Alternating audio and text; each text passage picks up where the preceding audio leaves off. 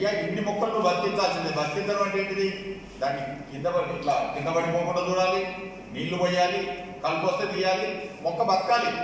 మనకి eighty five percent బతికించాలి అనేది ఉంది అందుకని మీరు పెట్టిన వర్కర్కి ఆ రెస్పాన్సిబిలిటీ ఇవ్వకుండా మీరు పది రకాల పనులు చెప్తే ఇవి బతకం తొమ్మిది మంది కూడా సార్ ప్రాక్టికల్గా నేను వన్ డే మొత్తం ఆ తొమ్మిది మంది తింటున్నా మీరు ఇంద్రపురి కాలనీ కల్లి కంపౌండ్ నుంచి. రెండు గంటలకు వెళ్ళిపోతారు.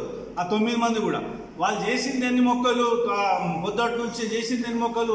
యాభై అరవై మొక్కలు చేయలేదు. మనం మూడు లక్షల టార్గెట్ పెట్టి తొమ్మిది మందిని చేస్తే మేము క్లియర్గా చెప్తున్నా సార్ నాకు మొక్కలతో సంబంధం లేదు. రేపు పెరగకపోతే నేను బాధ్యుని కాను.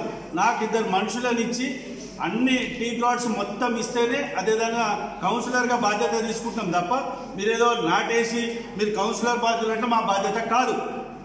ఈ ప్రొడక్షన్ చేయడం ఎక్కడ పెడతారు? తీసుకెళ్ళి అక్కడ పూసిన పంపడానికి ఆ ప్లేస్ సరిపోవట్లేదు. ఫస్ట్ మన మన ఉన్నటువంటి వాహనాలు ప్రొటెక్ట్ చేసుకోవడానికి వాటన్ని జాగ్రత్తగా పెట్టుకోవడానికి చికెన్ వల్ల అత్యవసరం పడుతుంది.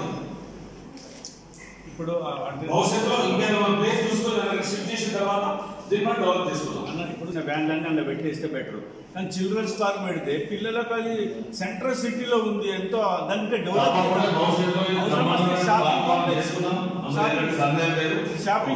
చేద్దాం మనకి ఇంకా రోడ్ సైడ్ షాపింగ్ కాంప్లెక్స్ చేద్దాం. మనకి చేసే మనకు కన్సల్ట్ చేసే అవకాశం లేదు. మన సోదరులు బాగా తెలుసది ఏ ఎన్ని ఏ పార్కులో కానీ ఈ వీడియో మీకు నచ్చినట్లయితే లైక్ చేయండి షేర్ చేయండి. అండ్ సబ్స్క్రైబ్ చేయండి. చివరిలో గంట నొక్కడం మర్చిపోకండి.